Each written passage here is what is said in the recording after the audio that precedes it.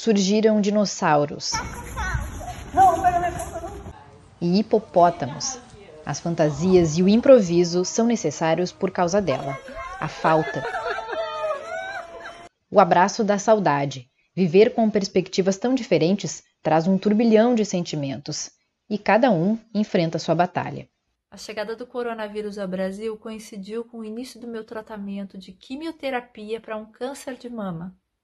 Então, para mim, esse momento está sendo duplamente desafiador. Não é fácil conviver neste mundo sem saber o que vai acontecer no dia de amanhã. Não saber, não se reconhecer.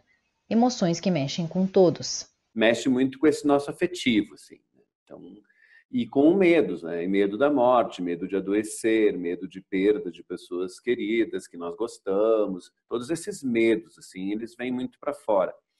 E, e o como lidar com isso, basicamente, está muito relacionado a essa questão de o que, que eu vou fazer de fato né, para suprir né, dentro de mim essas faltas que tudo isso está gerando. Nós temos é que construir em nós né, mecanismos de segurança, mecanismos de fluência emocional, né, que eu possa, por exemplo, expressar para as pessoas que eu amo aquilo que eu sinto, elogiar mais, falar mais da importância dessas pessoas na minha vida, ter mais clareza da importância de estar vivo, ter mais gratidão por essa vida que nós ganhamos aqui. Então, então, são processos desse desenvolvimento que vão fazer com que a pessoa possa lidar melhor com esse pós-pandemia, vamos dizer assim. Porque se tem uma coisa que, que nós podemos aprender em momentos de crise extrema, como nós estamos passando, e com certeza tem, né? tem mais que uma coisa que se pode aprender, uhum. mas uma das que eu gostaria de destacar é justamente que nós precisamos rever a nossa vida, sabe? Nós precisamos olhar para tudo que a gente está vivendo e pensar assim, bom, o que, que eu quero de fato para mim, o que, que eu quero de fato para o mundo, o que, que eu quero de fato para as pessoas que são importantes para mim. Ninguém precisa também sofrer sozinho, né, Ivan? A gente tem canais, né, e as pessoas não só podem como devem, né, pedir ajuda.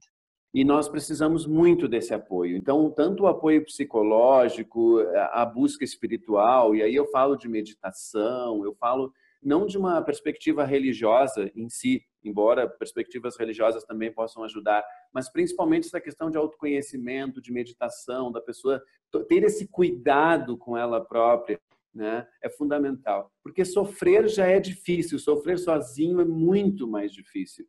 Então, não só preciso buscar ajuda profissional, como também preciso buscar formas criativas de estar em contato com as pessoas, né, de poder me comunicar com as pessoas. E no pós-pandemia, que a gente espera que chegue o quanto antes, né, nós precisamos também de muito cuidado para que tudo isso que dentro de nós machucou possa ser curado, possa ser cuidado. Vamos manter a fé. Que nós possamos repensar a nossa relação com o próximo, repensar a nossa noção de coletividade e de solidariedade